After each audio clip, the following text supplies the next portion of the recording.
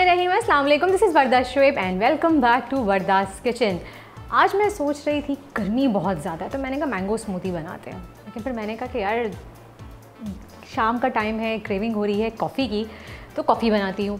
लेकिन फिर मैंने कहा यार कॉफ़ी कोल्ड कॉफ़ी बना लें, लेकिन फिर फ़ायदा क्या है? मैंने कोल्ड कॉफ़ी बनाते हैं, लेकिन मैंगो का सीज़न है मैंगो खाने का भी दिल चाह रहा है। अब दोनों कन्फ्यूज़न हो रही है। दिल चाह रहा है कि मैंगो शेक भी बना लूँ फिर चाह रहा है कि कोल्ड कॉफ़ी कोल्ड कॉफ़ी तो फिर कोल्ड कॉफ़ी है। अगर आप लोग मुझ जैसे कॉफ़ी लवर हैं तो कोल्ड कॉफ़ी हम जो है वो रेजिस्ट नहीं कर सकते, कुछ भी हो जाए। तो मैंने सोचा, क्यों ना हम दोनों का ट्विस्ट बना लें।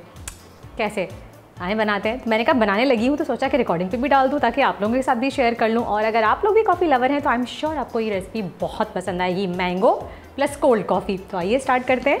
सबसे पहले इसके लिए हम एक जग ले लेंगे ब्लेंडर जिसमें हम जो है वो बनाएँगे हमारी कोल्ड कॉफ़ी अच्छा मैंगो कोल्ड कॉफ़ी बन रही है तो मैंने यहाँ पे लिया है एक बड़े साइज़ का मैंगो अच्छा उसको मैंने कट कर लिया है। मैं दो ग्लासेस बना रही हूँ तो इसलिए मैंने एक बड़े साइज़ का पूरा मैंगो लिया है। अगर आप एक सिंगल ग्लास बना रहे हैं तो आप हाफ़ लीजिएगा बड़े साइज़ का। सिंदड़ी आम में जो है, वो बाल बाल नहीं होते और मीठे भी बहुत आए हुए हैं, बहुत मज़े के आए हुए हैं तो वो यूज़ कर रही हूँ मैं यहाँ पर वो ऐड कर देंगे इसमें।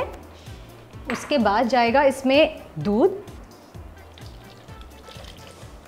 एक से डेढ़ कप डेढ़ कप दूध लिया है मैंने और उसके बाद इसमें हम ऐड करेंगे condense milk two tablespoon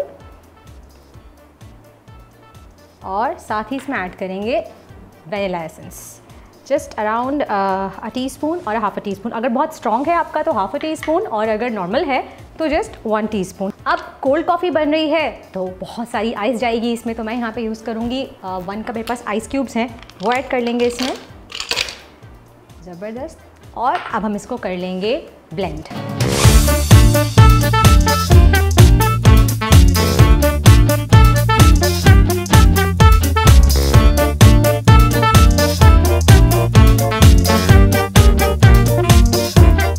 और जी मैंगो शेक तो जो है वो तैयार है। जो हमारी मैंगो की क्रेविंग थी, वो तो पूरी हो गई।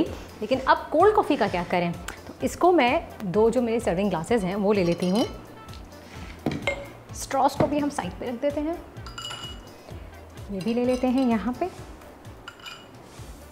और इसमें मैं पोर करूँगी जो हमने भाई स्मूदी बनाई है। ठीक?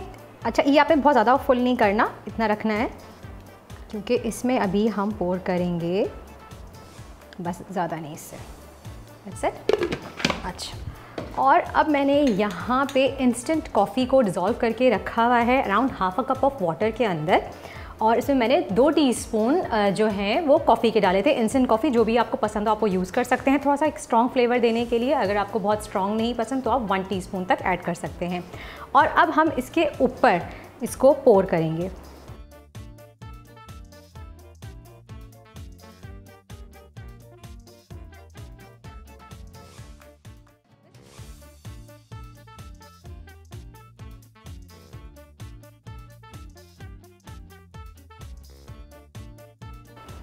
हम डालेंगे इसमें स्ट्रॉस हल्की सी।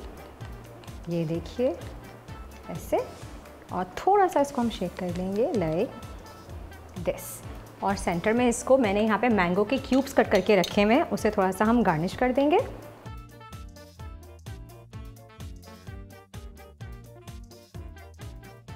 लाइक like दिस और ये देखें जनाब, मज़ेदार सी हमारी मैंगो कोल्ड कॉफ़ी जो है, वो रेडी है। आपने इसको ड्रिंक जब करना है तो आप स्ट्रॉ से हल्का हल्का इसको चलाएँगे और इसके सिप्स लेंगे और आप मैंगो शेक को और मैंगो कोल्ड कॉफ़ी को जो है, वो इन्जॉय कर सकते हैं टुगेदर यानी कि कोल्ड कॉफ़ी और आम एक साथ डन